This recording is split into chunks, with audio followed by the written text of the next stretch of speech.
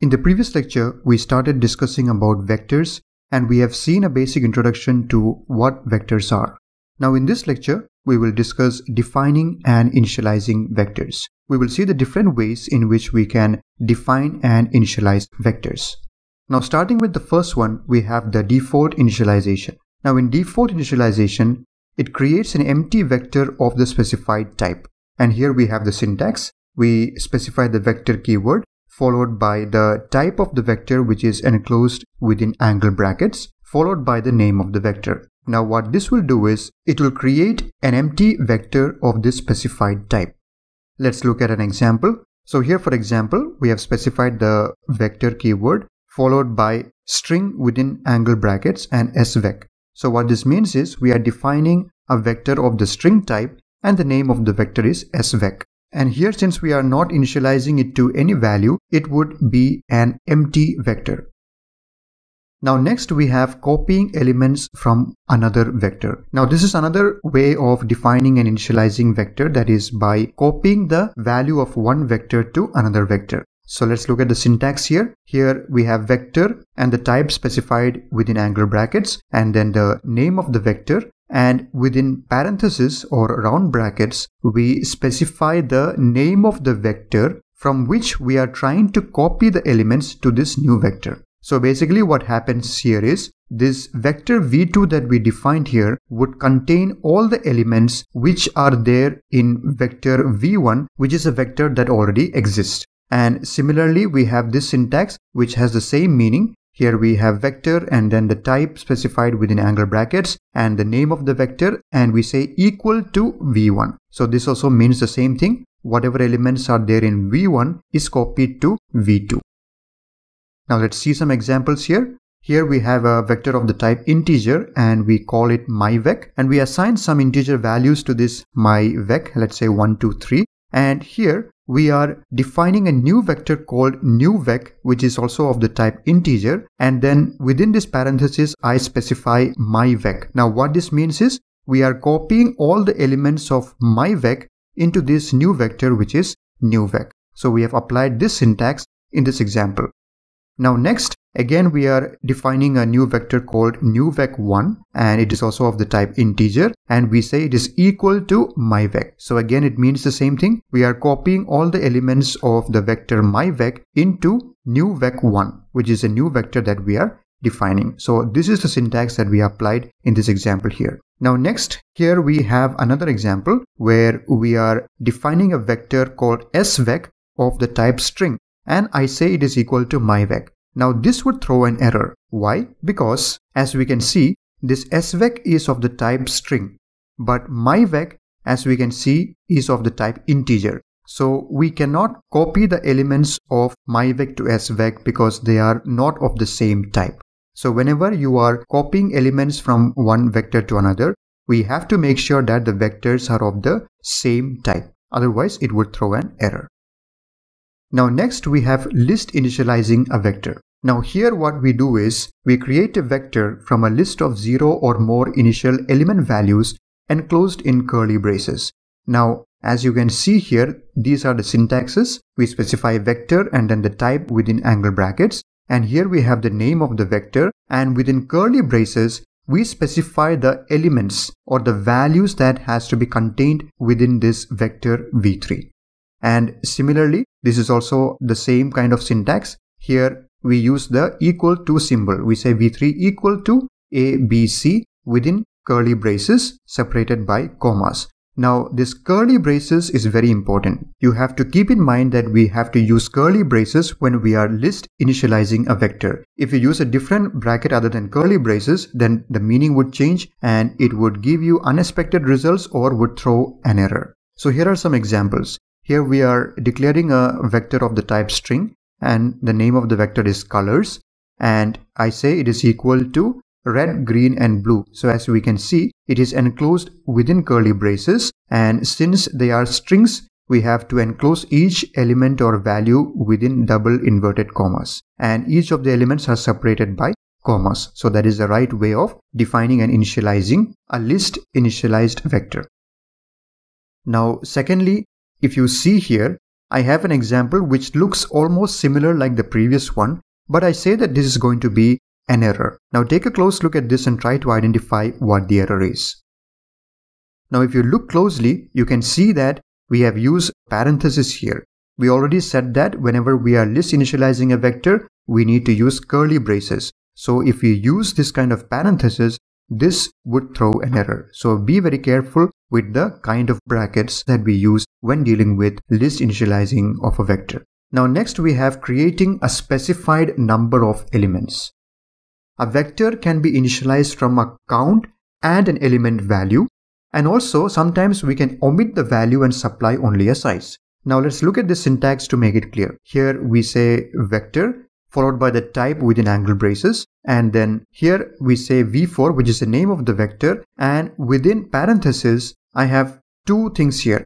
First n comma val. Now n is the size or the count and then val is the value or the element value. So this means that there will be n number of this specific value stored in this vector v4.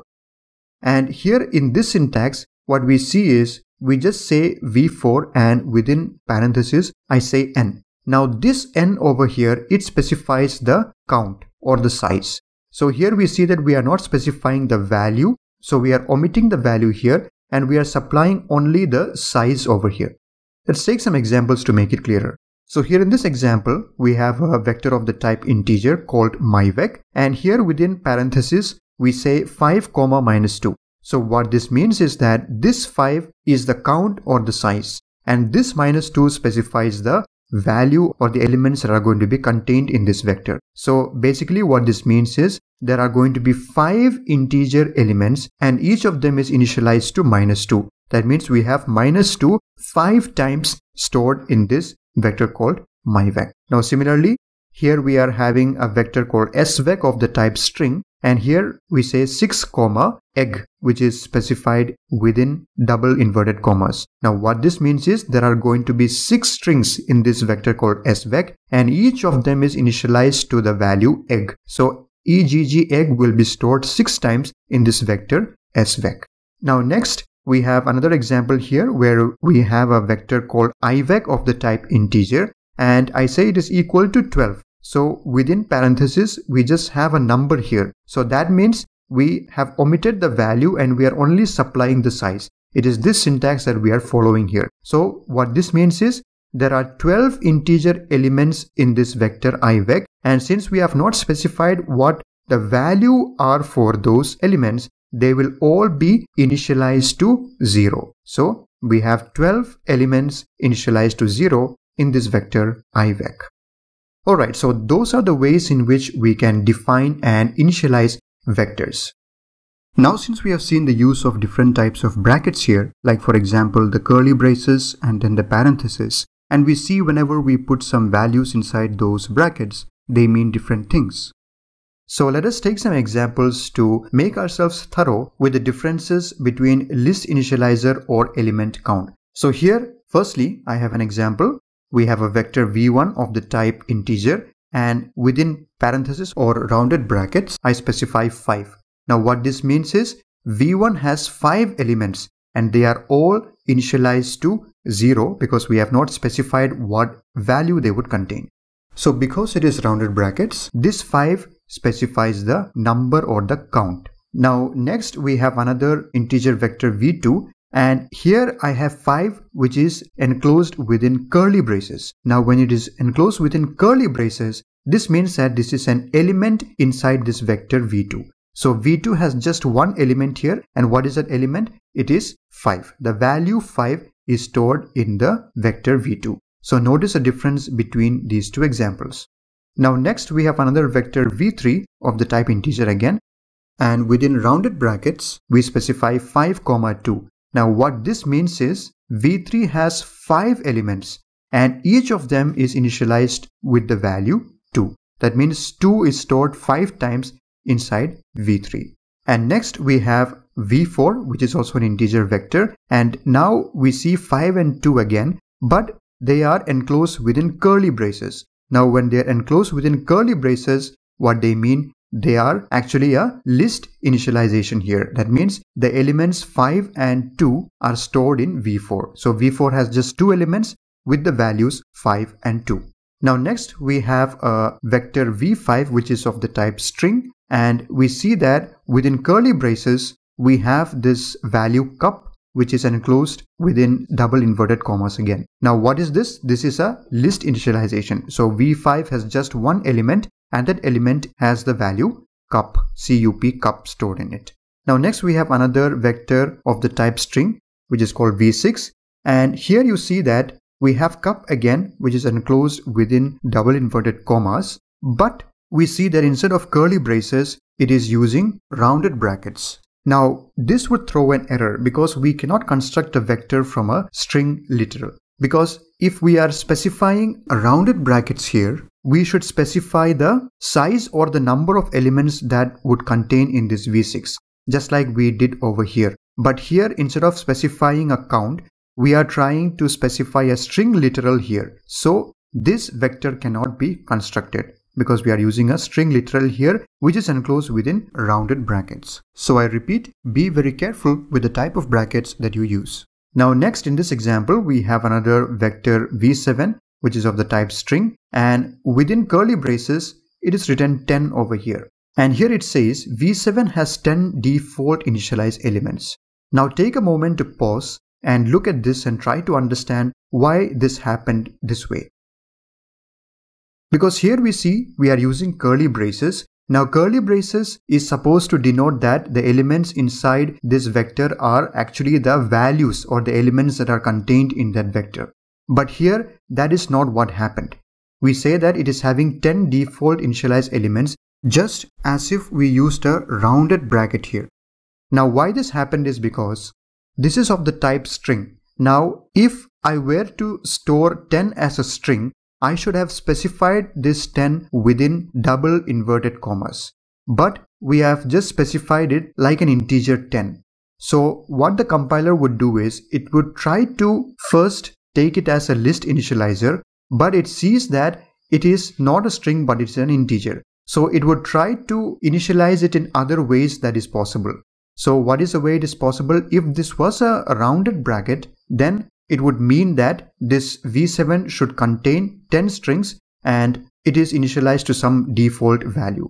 So the compiler chooses that option and here v7 has 10 default initialized elements. So this is a little tricky one. Just take some time to listen to it and understand it again. Now finally we have this vector called v8 of the type string and here within curly braces, it is written 10 comma and then within double inverted commas we have cup. Now what this means is this V8 would contain 10 elements and all of them would be initialized to the value CUP cup. So we see that these are the different ways in which we can differentiate between list initializer or element count. So depending on the type of brackets that we use, we see that they have different values and sometimes when we use a wrong type of bracket, it would throw errors. And sometimes in cases like this example, we see how the compiler works in order to initialize it without causing errors. Alright, so those were the ways in which we can define and initialize vectors. I hope this was clear to you. Thank you for watching and see you in the next one.